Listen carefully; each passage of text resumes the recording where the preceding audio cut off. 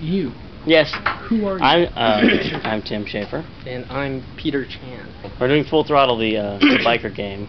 I, Uh-huh. um, um, I wanted to do a game about sort of Hell's Angels type uh, bikers and a gang, and uh, Peter and some of the other artists thought it might be more interesting if it was a little more futuristic and the bikes were more high tech, and so we designed all these really weird looking bikes for the different gangs. These are the Rottweilers.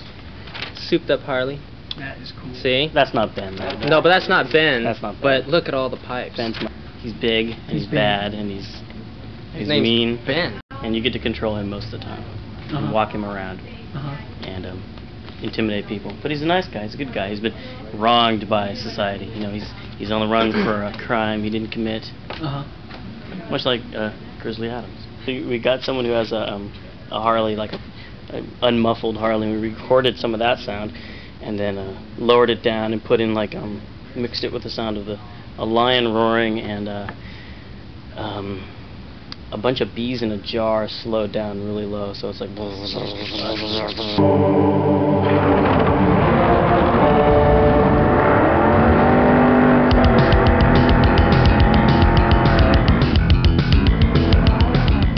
It's kind of a futuristic world, like Tim said, because he was mm-hmm. planning on making it real life, boring. 60s style, cool bikers.